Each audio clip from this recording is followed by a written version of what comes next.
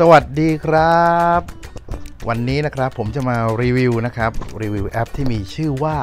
Snapseed ผมเชื่อว่าทุกคนเนี่ยน่าจะรู้จักแอปนี้นะครับ เพราะว่าเป็นแอปแต่งรูปแบบใครๆก็มีกันในโทรศัพท์นะครับ มีทั้งมือถือ Android แล้วก็ iPhone นะครับ แล้วก็ที่สำคัญแอปนี้โหลดฟรีด้วยนะครับผมอะเดี๋ยวมาดูกันว่าแอปนี้ใช้งานยังไงครับ ก่อนอื่นนะครับก็โหลดแอปนี้มานะครับ แล้วหน้าตาแอปก็จะเป็นแบบนี้นะครับ เป็นรูปใบไม้นะครับสำหรับคนที่ไม่รู้จักแอปนี้นะครับ ก็โหลดได้เลยนะฮะทั้ง Android ทั้ง iPhone นะครับพอได้แอปอันนี้มาแล้วนะครับ ก็กดเข้าไปครับ พอกดมาหน้าตาก็จะเป็นแบบนี้นะครับ เปิดเข้ามาก็มีเครื่องหมายไม้กางเขนหรือเครื่องหมายบวกกลางแอปเลยนะครับ ผม เขาก็บอกว่า tap anywhere to open a photo ก็คือ แตะตรงไหนก็ได้เพื่อจะเปิดรูปนะครับ มันมีจุดที่จะให้เปิดรูปเลือกรูปได้ 2 จุดนะครับ อันกลางอะเดี๋ยวลองแตะดูก่อนจึ๊กอะขึ้นมาก็จะเป็นนี่นะครับ ให้เราเลือกรูปจากอัลบั้มของเรามาแต่งนะครับ กับดูนะฮะ กด Open ข้างบนครับมุมซ้าย ก็จะเปิดให้เลือกรูปเหมือนกันนะครับ อ่า นี่เหมือนกันครับ หรือพอแตะเข้ามาแล้วเนี่ย มันก็ Open from device ก็ได้นะครับ คือถ้าเราไม่อยากเลือกแบบนี้ เราก็กดเข้าไปนะครับ Open from device ก็เลือกรูปจากนี้นะครับโฟโต้อัลบั้มของเรานะฮะแล้วก็เลือกมาแต่งเอาตามระเบียบนะครับอะเดี๋ยวผมจะลองเลือกสักหนึ่งรูปมาแต่งแต่แตะเลือกสักหนึ่งรูปนะครับมาแต่งรูปอะไรรูปนี้ละกัน โอ้โห เป็นรูปผู้ชายนอนหงายนะครับนะฮะแล้วก็มีหมอกเต็มไปหมดเลยนะครับ พอเปิดเข้ามาเนี่ยมันก็จะเป็นอย่างนี้นะครับ อันแรกอันซ้ายมือแรกเนี่ยข้างล่างนะครับ เขียนว่า Look ก็คือเราสามารถเลือกปรับจากฟังก์ชันในนี้ได้เลยนะครับ กดอันนี้หน้า smooth นะฮะ อันนี้ pop pop เพื่อจะดูแบบอ่าดีมี detail นะครับ หรืออ่าเราเลือกในนี้นะครับตามสบาย เราอยากเลือกสไตล์ไหนมันก็จะมีให้เลือกนะครับ มีทั้งขาวดำมีทั้งแบบสีนะครับ current นี่คือกลับมารูปเดิมแบบที่ไม่ได้มีแต่งอะไรนะครับ หรือถ้าเราไม่เลือกก็ได้นะครับ เราก็ไม่เลือกเขาเราก็กดออกซะนะฮะหรือถ้าเลือกเราเลือกแต่งแล้วเราก็จะกดติ๊กถูกก็จะเป็นเป็นการแต่งรูปไปแล้วนะครับ ต่อมานะครับดูนะครับตรงกลางเขียนว่า tools นะครับก็ tool ก็คืออะไร tool ก็คือเครื่องมือนั่นเอง กดเข้าไปครับโอ้โห เปิดมา มีเครื่องมือเพียบไปหมดเลยนะครับ มี Tune Image Detail Curve White Balance Crop อะ ผมจะเข้าไปที่ Tune Image ก่อนนะครับนะครับคลิปนี้เข้าไปที่ Tune Image นะครับปุ๊บนะฮะพอเข้าไปปุ๊บเนี่ยโอ้โหก็จะหน้าตาเป็นแบบนี้นะครับหน้าตาเป็นแบบนี้ข้างบนสุดนะครับก็เขียนว่า brightness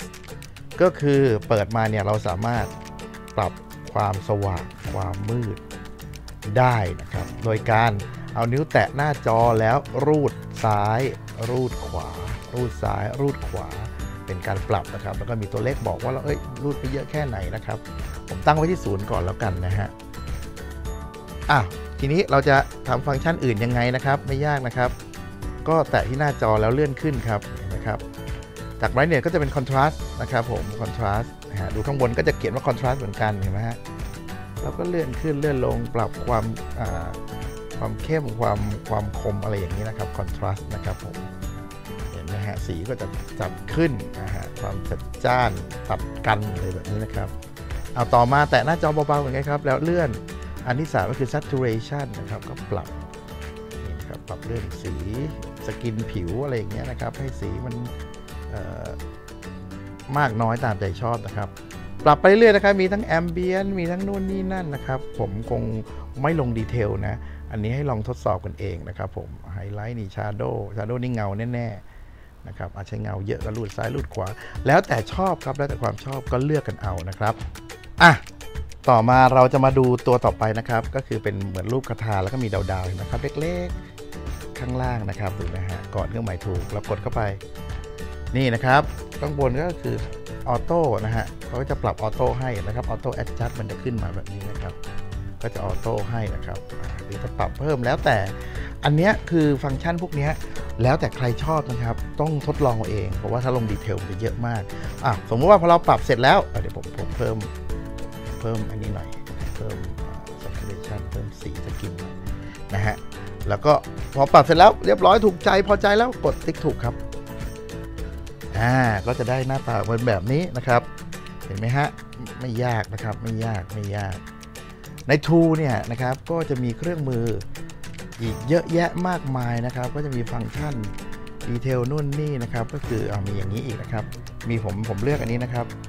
grainy film นะครับผมก็คือปรับเกณฑ์ให้มันเหมือนแบบ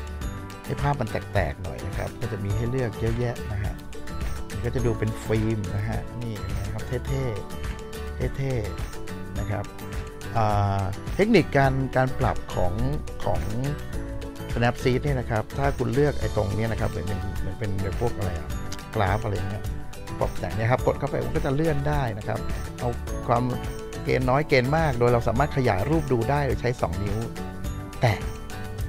นะครับ แตะแล้วทางเข้าทางออกนะครับ นี่นะครับเห็นไหมครับผมก็เลือกปรับได้ตามสไตล์นะครับอะมันมีให้เราปรับได้หมดนะครับขึ้นอยู่กับการทดลองโดยการแตะหน้าจอแล้วเลื่อนขึ้นเลื่อนลงนะครับ นี่คือ ธีการเปิดฟังก์ชันในการปรับของเขานะครับผมตามใจชอบนะครับเห็นไหมครับพอชอบแล้วก็กดติ๊กถูก ทีนี้ มันก็จะมีเครื่องมืออื่นอีกเยอะนะครับ ปรับผมจะลองปรับโดยใช้ weakness นะครับเอา weakness เลือกปรับขอบให้มันมันมนๆหน่อยนะครับนี่ให้มันมืดๆหน่อยมีขอบนะครับ ดูดีนะครับแล้วก็เลื่อนได้มันก็เลื่อนได้หมดนะครับเห็นไหมครับ ฟังก์ชันเขาคือการแตะแล้วเลื่อนขึ้นเลื่อนลง เลื่อนซ้ายเลื่อนขวาคือเพิ่มมากน้อย เลื่อนขึ้นเลื่อนลงคือเลือกฟังก์ชันนะฮะเห็นไหมครับ เสร็จแล้วพอเราชอบรูปนี้แล้วเออเราทำยังไงดี เห็นคำว่า export ไหมครับ เรากดเข้าไปที่ export ครับ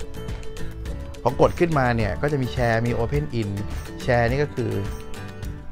แชร์ไปต่างๆกันานาไปนู่นไปนี่แล้วแต่ชอบนะครับ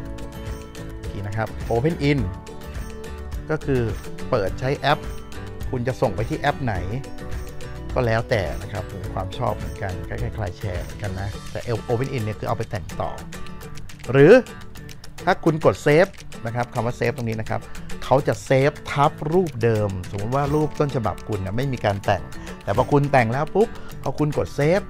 มันก็จะไปเซฟทับรูปเดิมของคุณรูปเดิมคุณก็จะหายไปกลายเป็นรูปใหม่ที่คุณแต่ง